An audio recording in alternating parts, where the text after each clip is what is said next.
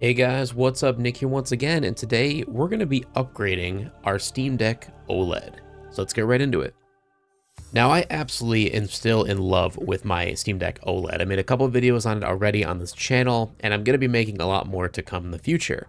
Now, there is one issue I still have with the Steam Deck, and it's actually the same issue I had with my original one as well, is the storage. So this one is the 512 gigabyte model SSD, and it does have expandable storage with a micro SD card, which is great. I use the same thing with my original LCD model as well, but there is one major issue to playing games off of the micro SD card. There is no micro SD card on the market that runs as fast and efficiently as an internal M.2 drive SSD. If you don't know what that means, essentially a micro SD card, which is the external that you plug in down here, is just not as fast or reliable as the internal SSD is that's built into your Steam Deck. There's one way around this, of course, which is to pay extra money and get the one terabyte model that is now available with the Steam Deck OLED, which is great. However, I talked about this in my unboxing video that the reason I went with the 512 gigabyte model is honestly because of the display. I just prefer the look of the glossy display over the non-reflective etch display that comes with the one terabyte model. I wish that they gave the option to choose between the two when you go with the one terabyte model, but they don't give you that option. So I went with the less storage internally, and I've been just using a micro SD card. Coming back to what I was saying about the micro SD card not being as efficient or running as well is that for certain games like Forza or really any game that is a higher fidelity, uses more graphical intensity, like it's a AAA title for instance, you're going to have a lot more frame issues, we'll put it at that, with the micro SD card as opposed to running it on the regular SSD that's internally installed.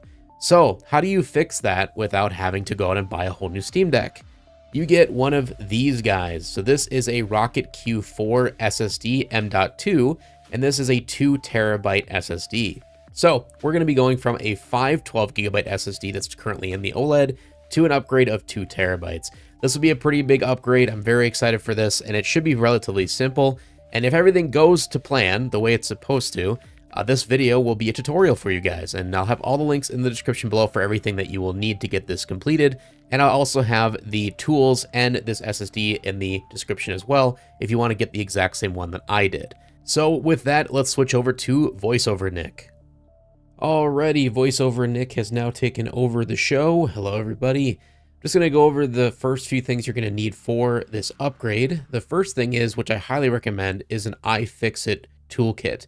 You don't need the most expensive one out there. This is actually the cheapest one they sell for like 50 bucks on Amazon. I'll have a link in the description to it. I'm not affiliated with them or sponsored, but it is a great tool set and highly recommended if you're ever taking apart anything like this in the future. Next, of course, you're going to need your SSD ready to go. Make sure it is the correct size for your Steam Deck. You will then need a USB drive. I'm using a USB-C flash drive so that I don't have to worry about getting a converter from USB-A to USB-C in order to plug it into my Steam Deck.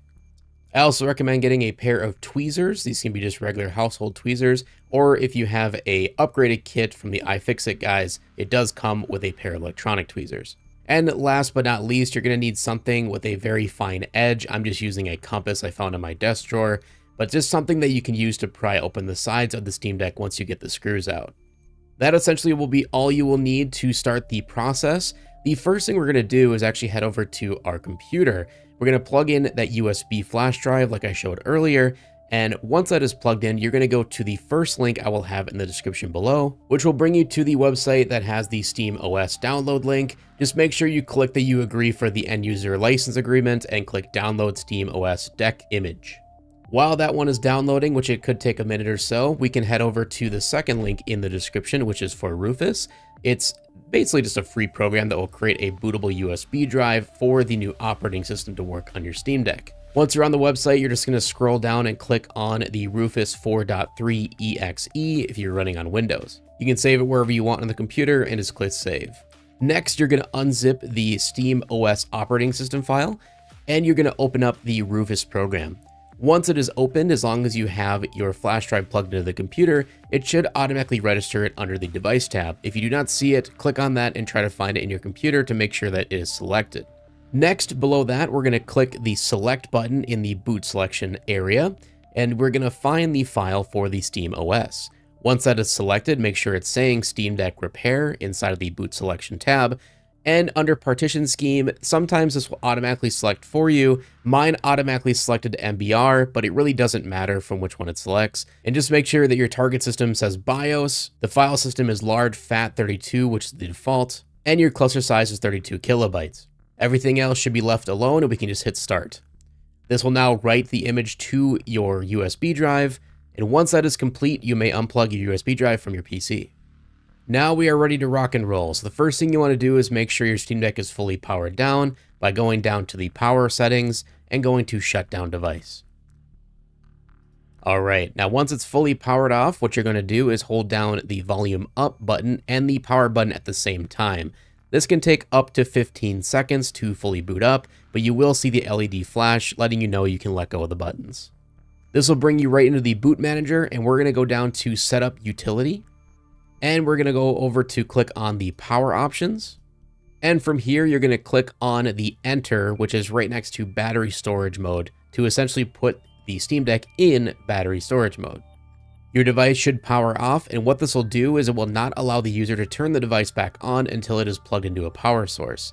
So for this next part, it's pretty simple. We're just going to whip out the iFixit kit, and we're going to get the correct head here for the screws. From my kit here, I found that the Torx T5 is the perfect size for the Steam Deck OLED. I know the LCD version does have different screws, but this tutorial should work for both models. Just make sure that you're using the correct screwdriver bit in order to not strip your screws. Once you've unscrewed all eight of the backplate screws, make sure to unplug any microSD cards that you may have in the device because if you try prying off the back, it can break it in half. So that is a very important step, do not forget that. And for this next part, this one, you're to need that fine edge card, aka that compass that I found in my desk drawer. This is kind of a tricky maneuver. At first, I was really worried about breaking the plastic or snapping some of the catches inside of the device, but thankfully they do pop apart with ease with a little bit of prying. Just make sure you start at the bottom. It seems a lot easier from down there, at least in my opinion, and then slowly make your way around the device with using that tool and eventually it'll all pop off. You can remove the entire backplate all in one go.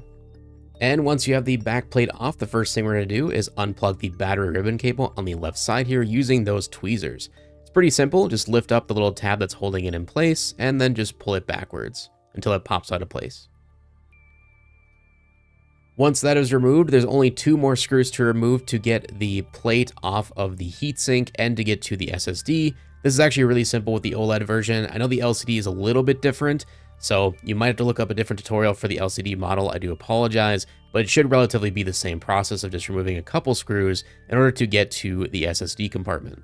One thing I did notice is make sure to watch the bottom right corner of this plate. It's a little tiny rod that sticks out to go around the screw hole, and it is very fragile, so you can bend that pretty easily, so just make sure you're being very careful when removing this plate. The battery ribbon is glued to the back of it to keep it in place. Do not remove the glue and do not remove the ribbon from the back. Just flip it backwards to get it out of your way. And then you can see here we have the SSD.